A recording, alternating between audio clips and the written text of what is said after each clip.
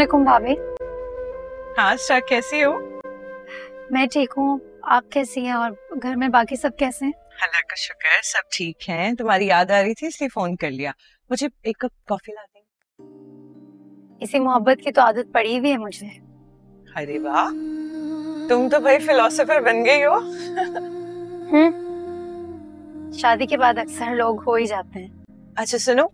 मेरी दोस्त है ना सुहाना उसकी एंटीक ज्वेलरी की एग्जीबिशन है। वहाँ जाना है हमें मुझे भी।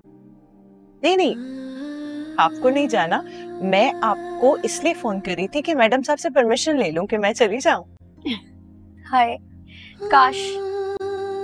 सुधर जाओ तुम। भाभी। हम्म, बोलो। क्या आपको कभी मुझसे अदावत महसूस नहीं हुई? बिल्कुल भी नहीं।